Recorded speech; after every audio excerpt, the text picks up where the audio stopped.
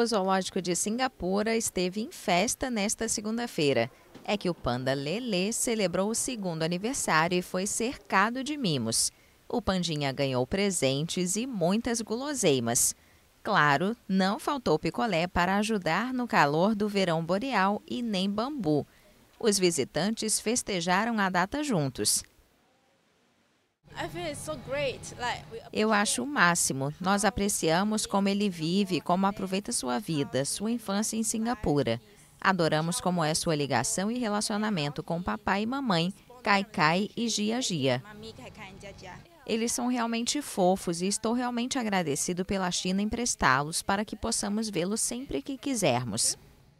Lele veio ao mundo em 14 de agosto de 2021, após inseminação artificial, e é o primeiro panda gigante a nascer em Singapura. Os pais dele, Kai Kai e Gia Gia, são emprestados pelos chineses e chegaram à cidade-estado em 2012. Sob os termos do acordo, Lele deve retornar à China depois de completar dois anos, mas os detalhes ainda não foram anunciados.